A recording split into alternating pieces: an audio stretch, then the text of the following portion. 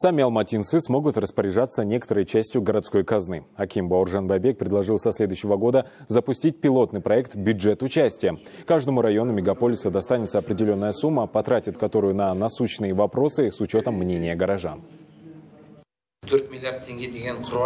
Горожане через системы Open Алматы смогут вносить предложения и проекты, которые будут опубликованы, и публичное голосование определит лучшее из них. Свою оценку проектам дадут также члены общественного совета, эксперты и бюджетная комиссия. Считаю, что в Алматы можно выделить в среднем до полумиллиарда тенге на один район. То есть на все 8 районов будет выделено 4 миллиарда тенге или 1% от городского бюджета.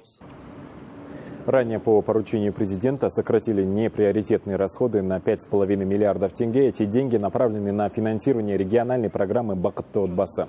Сегодня предлагается сократить еще более 7 миллиардов тенге. Опираясь на запрос алматинцев, большая часть бюджета направлена на решение самых острых вопросов – благоустройства, развития общественного транспорта, строительства дорог и сетей школ, э, детсадов и э, больниц в присоединенных районах. В результате количество жалоб от населения снизилось за год в три раза.